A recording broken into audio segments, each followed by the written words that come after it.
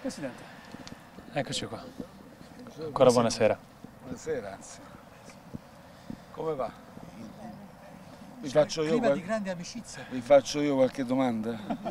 Si ricorda che C'è attesa per il suo rientro, anche perché l'aspetta un vertice per decidere sulla TAV. Potremmo avere una risposta stasera o domani? Quanto, quanto c'è in gioco per il governo? Eh, ci prenderemo il tempo che occorre, anche se vogliamo fare in fretta.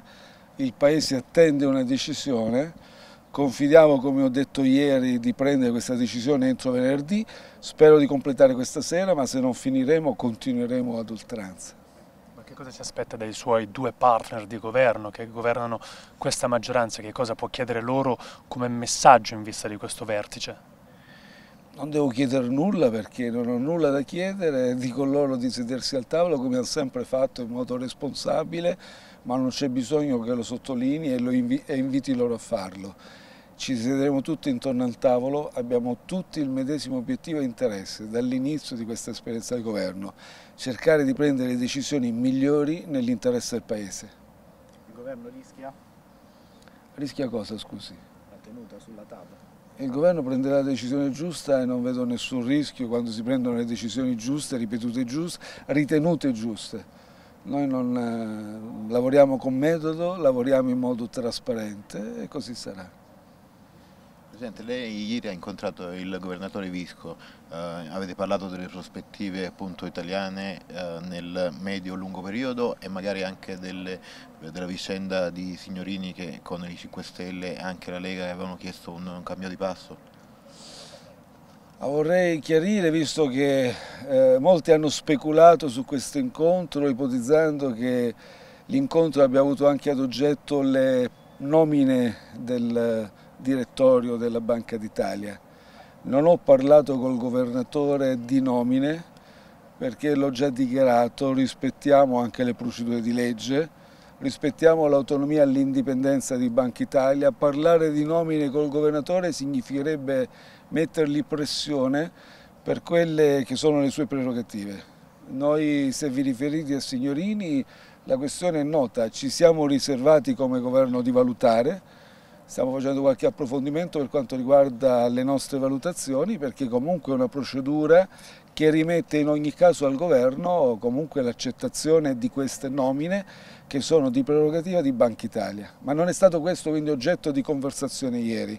Ieri c'è stato un incontro, l'avete anche voi eh, reso noto, ma un incontro come ne sono già avvenuti altri in cui il Presidente del Consiglio con il Governatore della Banca d'Italia scambia delle opinioni, delle valutazioni su quella che è la situazione economica interna, internazionale, su quelli che sono i trend del, del quadro economico e su questo noi abbiamo ragionato. Avete anche in quell'occasione magari escluso un'ipotesi di una manovra correttiva come già fatto altre volte?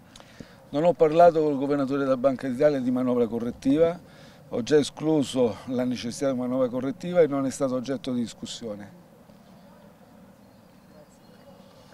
Va bene così? E volevo una domanda in più, mi lasciate? Eh, la domanda in più eh, Scherzo, ha parlato del reddito. No, l'ultima cosa, ha parlato, parlato del reddito di cittadinanza Allora.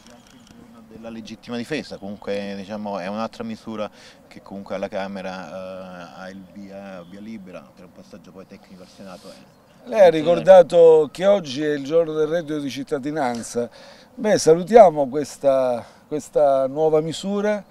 Oggi mi risultano, l'aggiornamento è 30.000 domande, pensate, in poche ore 30.000 domande, tutto sta filando liscio e siamo molto orgogliosi di questa misura. Confidiamo quindi che la potremo attuare nei termini in modo efficace, tempestivo. Abbiamo già detto che non ha una finalità assistenziale, faremo di tutto perché non l'abbia. L'abbiamo concepita su tre pilastri, occupazione, formazione, inclusione sociale. Oggi è un bel giorno da questo punto di vista. Per quanto riguarda il- la legittima difesa, un iter parlamentare che sta andando avanti e proseguirà. Pensa dell'appello di Macron all'Europa e anche di questa scelta forse un po' irrituale di rivolgersi direttamente al Presidente della Repubblica Mattarella per quanto riguarda l'Italia. Non è rituale perché il Presidente Macron è Presidente della Repubblica, quindi può legittimamente dialogare e interloquire col Presidente della Repubblica italiana. Questo non significa che abbia scavalcato nessuno, noi parliamo con Macron, ci parliamo, ci parleremo, ci siamo parlati tante volte e continueremo a parlarci, quindi non dovete leggerla in questi termini.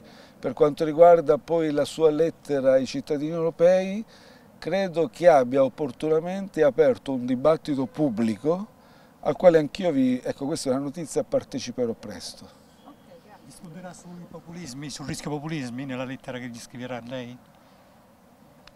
Parlerò di Europa, di tutti i problemi dell'Europa, di tutte le prospettive europee. Grazie. Grazie, Presidente. Grazie, buon rientro Presidente. Grazie. Prende anche il caffè come...